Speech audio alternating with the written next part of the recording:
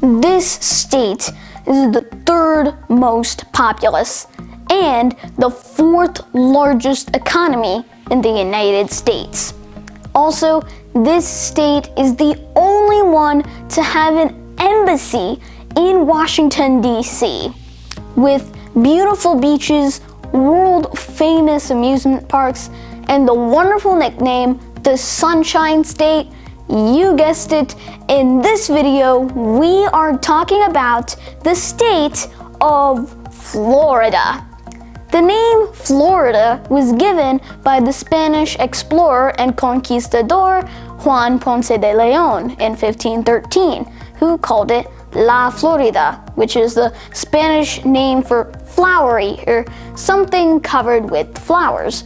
And it was also named for the term given to his arrival, which was during the time of Easter, so naturally, they would call his arrival day as Pascua Florida, which uh, means something along the lines of flowery feast.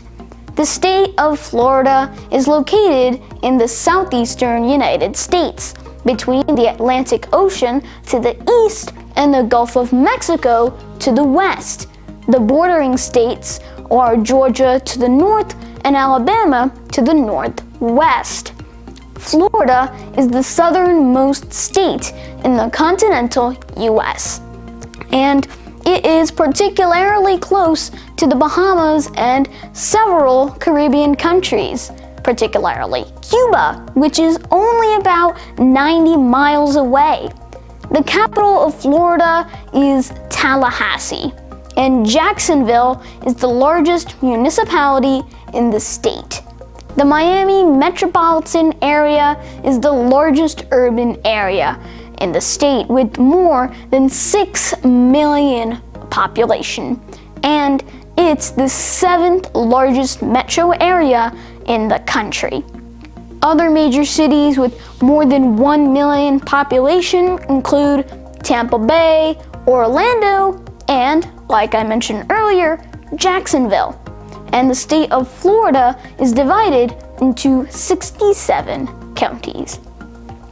This is the flag of Florida, and this is its state seal.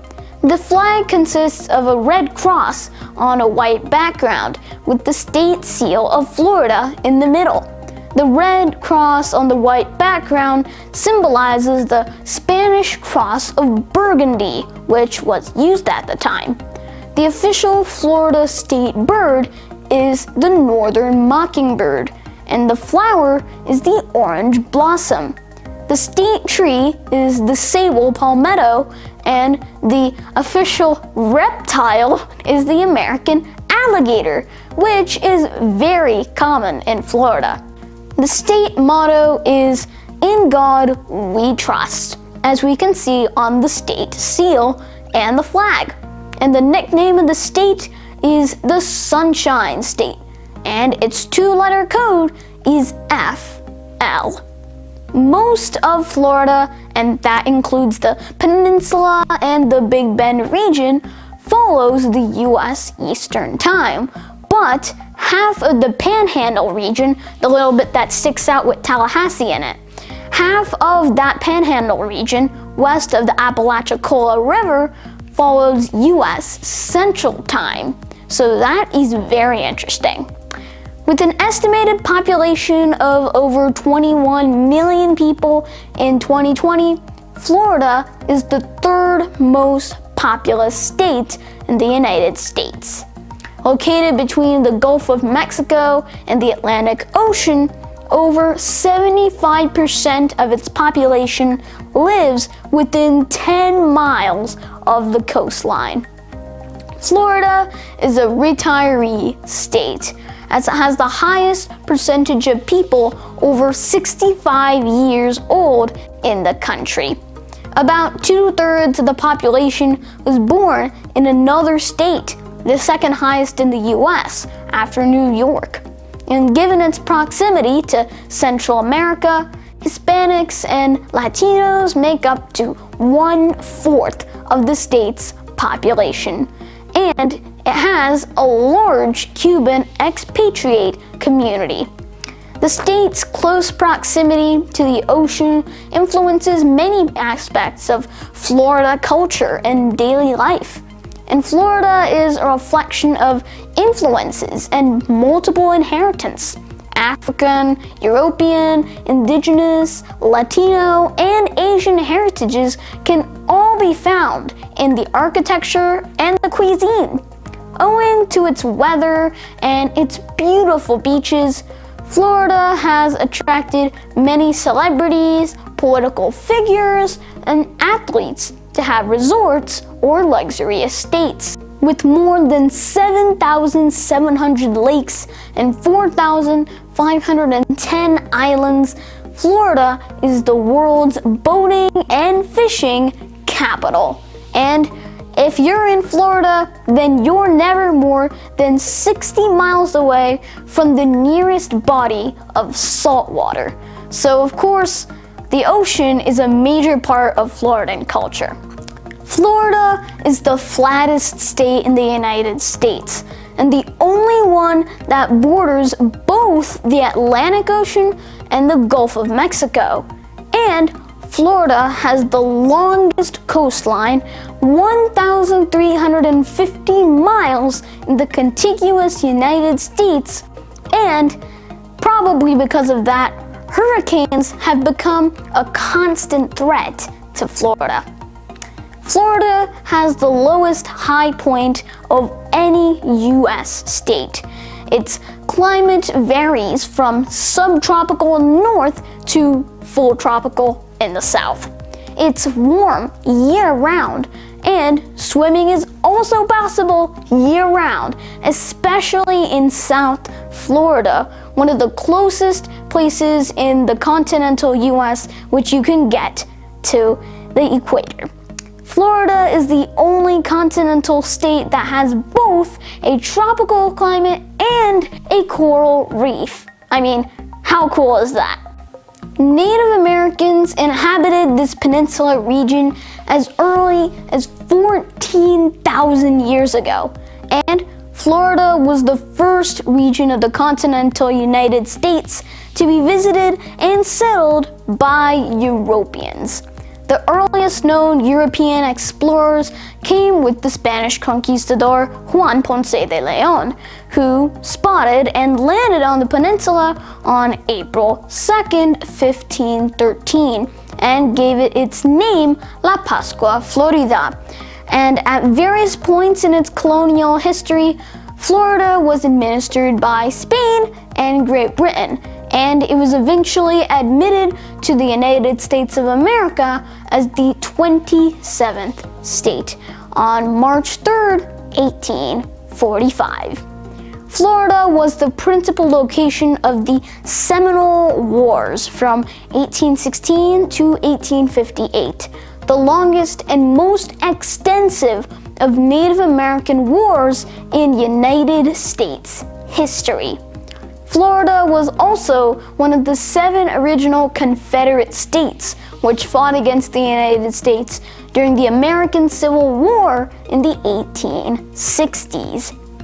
Florida's $1 trillion economy is the fourth largest of any U.S. state. And if it was a country, then Florida would have the 16th largest economy in the world. Tourism has become the state's major source of economy. Major theme parks like Walt Disney World, Universal Orlando Resort, SeaWorld Orlando, Legoland Florida, and Busch Gardens Tampa Bay are major attractions for which Florida has become the world's theme park capital.